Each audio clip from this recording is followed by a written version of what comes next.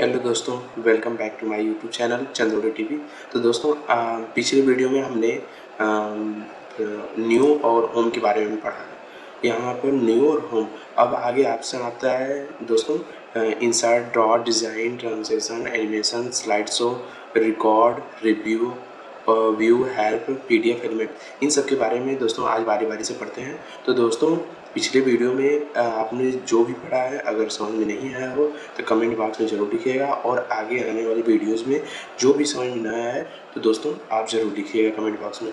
और दोस्तों एक नई खबर आपको बता दें कि दोस्तों इस पर इसके बाद मैं आप लोगों को आ, सामने आकर बोर्ड पर आपको नोट्स की भी तैयारी करवाऊँगा जिससे कि आप कोई भी कोर्स कर रहे हैं कंप्यूटर्स में आपका नोट्स आपके पास रहे। जिससे कि आप कहीं भी जाएँ, अपने आपका नोट्स आपके पास रहेगा तो कभी भी, कैसे भी आप उस वर्क को कर सकते हैं। कभी भी भूलेंगे भी तो उसमें से देख कर आप कर सकते हैं। ठीक है दोस्तों, अगर उसको मैं बताऊँगा भी और आपको नोट्स भी दूँगा पीडीएफ में। जो जो पढ़ाऊँगा, उसको पीडीएफ में मैं देता रहूँगा। ठीक है दोस्तों? तो दोस्तों, आगे हम देखते हैं इंसर्ट के ऑप्शन में क्या क्या है। इंसर्ट में जैसे ही जाते हैं, सबसे पहला है न्यू स्लाइड अब इसको जैसे ही क्लिक करेंगे, एक नई स्लाइड आ जाएगी आपके सामने। ये वाली नई स्लाइड, ठीक है दोस्तों? ऐसी स्लाइड आ जाएगी। अगर जो भी आपको स्लाइड चूज़ करना है, ये आपको फ़ोटो भी लगाना है, वीडियोस भी इसमें डालना है, कुछ और डालना है, टेक्स्ट भी लिखना है। तो ऐसी two content section, header, title and content, title slide, इस प्रकार की फाइलें हैं, उसमें जाकर देख सकते हैं, ठीक है? Double section slide sides, from, outline reuse slides ये सब दोस्तों, आपको जिस प्रकार से देखिए हम यहाँ क्लिक करते हैं, ये आपका सामने खुल कर आ गया। अगर हम इस पर क्लिक करते हैं तो आपका एक ये आपका ये टेबल बन गया, ठीक है? ये फाइव का है, ये सामने सामने फाइव का है, ये टू का है। ये आपका टेबल बन गया, इसमें आप जो भी इसमें डालना चाहते हैं, लिखना चाहते हैं, आप आराम से इसको लिख सकते हैं, ठीक है दोस्तों? इस प्रकार से ऐसे लिख सकते हैं। और आप इस पर टेबल भी एक डिज़ाइनिंग बना सकते हैं और इस पर डिटेल भी दे सकते हैं। और आगे देखते हैं देखते हैं दोस्तों, आगे टेबल का ऑप्शन आता है। आपको जितना लंबा, जितना वो गैप का टेबल चूज़ करना है, वो आप इस पर इस पर चूज़ कर सकते हैं। ठीक है दोस्तों? और आगे नीचे आता है इंसर्ट टेबल का ऑप्शन आता है ड्रॉ टेबल का ऑप्शन आता है एक्सल स्प्रेड शीट का ऑप्शन भी आता है। ठीक है दोस्तों?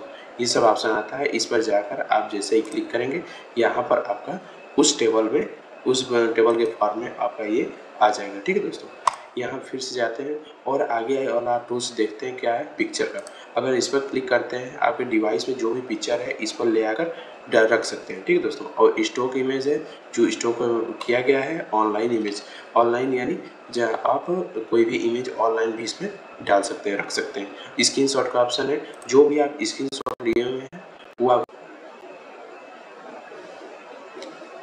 तो दोस्तों, इसमें आगे वाला टूल्स आता है फ़ोटो एल्बम फ़ोटो एल्बम के टूल्स में जैसे जाएँगे हम हम नीचे आता है न्यू फ़ोटो एल्बम इसमें जो भी आपके एल्बम में फ़ोटो होंगी, अब या फिर इसको ड्रॉ भी कर सकते हैं, इस पर ले आकर इसकी साइज़ इसके, इसका जो भी सेट करना है, उसके अपने पेज के हिसाब से यहाँ पर एल्बम में सेट कर सकते हैं। ठीक है दोस्तों, इसमें भी डाल सकते हैं। इसमें आपकी फ़ाइल जो है, आपकी फ़ोटो जो है स्टोर्ड रहेगी। अगर कभी भी आपको ज़रूरत पड़ेगी, इसमें से आप क्रिएट कर सकते हैं। ठीक है दोस्तों। और आगे दोस्तों आपका ऑप्शन आता है।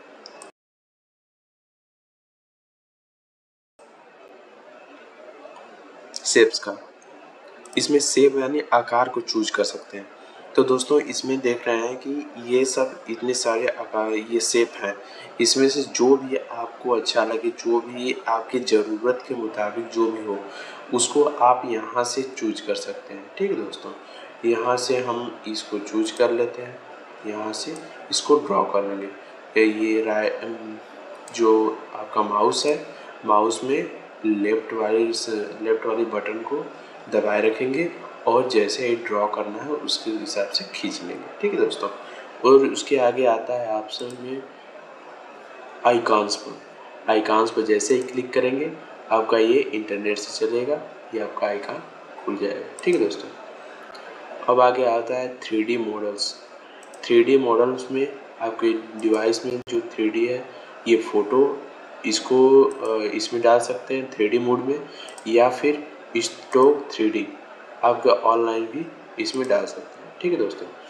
उसके बाद ऑप्शन आता है आपका। उसके बाद ऑप्शन आता है स्मार्ट आर्ट स्मार्ट आर्ट वो होता है जिस प्रकार से आप इसमें स्मार्ट स्मार्ट आर्ट के बारे में आप एम एस वर्ड में भी पढ़े हैं, पीछे पढ़ चुके हैं, ठीक है दोस्तों? कि जैसा भी आपको सेप चाहिए, वैसा सेप आप चूज़ कर अपने इस, अपने डॉक्यूमेंट के मुताबिक आप यहाँ पर लगा सकते हैं, ठीक दोस्तों? यहाँ जैसे हम यहाँ पर लगा रहे हैं, इसको हटा दिए।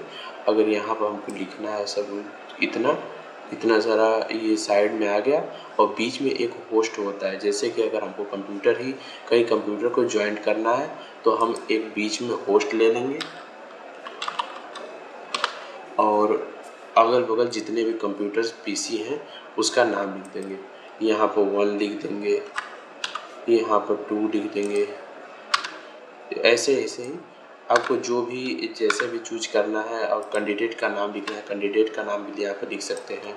या फिर अपने मान लीजिए कोई स्कूल है उसमें टीचर्स का नाम लिखना चाहते हैं प्रिंसिपल का नाम, इस प्रकार से आप डिज़ाइन कर सकते हैं, ठीक है दोस्तों? उसके बाद हम आते हैं इंसर्ट में, और आगे का ऑप्शन देखते हैं चार्ट का ऑप्शन अगर हमको यहाँ से ड्रॉ करना है चार्ट में, ठीक है दोस्तों? अगर चार्ट हमको ड्रॉ करना है, उसके हिसाब से आपको बताना है किस प्रकार से क्या डाटा है हमारा। आपको यदि आप कोई कंपनी चला चला रहे हैं ग्रुप है आपका, या फिर स्कूल में कहीं पढ़ाई कर रहे हैं तो उसमें आपको चार्ट बनाना कितना सिलेबस सिलेबस हो या फिर कितना ये सब आपको इस चार्ट में उपलब्ध है जैसे इसको क्लिक करेंगे ये चार्ट अगर आप टेम्पलेट चार्ट है चार्ट है column chart column chart line chart line chart area वाला X Y map stock surface surface